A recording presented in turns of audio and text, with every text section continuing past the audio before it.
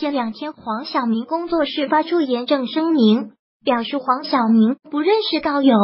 今天就被证监会官方打脸了。证监会刚刚公布的获利近九亿元、罚没款高达十八亿元的高勇股票操作案中，自然人账户之一确实为影视明星黄晓明名下账户。然而，相关人士表示，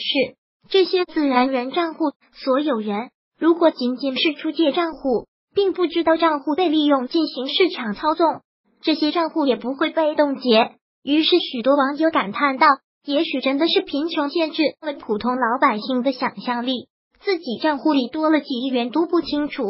黄晓明出借账户真不真不知道，但我估计黄教主账户应该没开短信提醒吧？黄晓明出借账户，自己却不知道被用于何地何时，这是什么情况？仅黄晓明出借账户，仅账户上有十八亿过账都不知道，我的账户扣了两块钱，我都记得到。真的是贫穷限制了我的想象力。微笑更有网友痛心疾首道：“还死不认账，国家应该对这类丧尽天良、扰乱证券市场、藐视国家法律、坑害广大散户股民的败类，不仅要重罚，而且还要重判，让其永远消失。”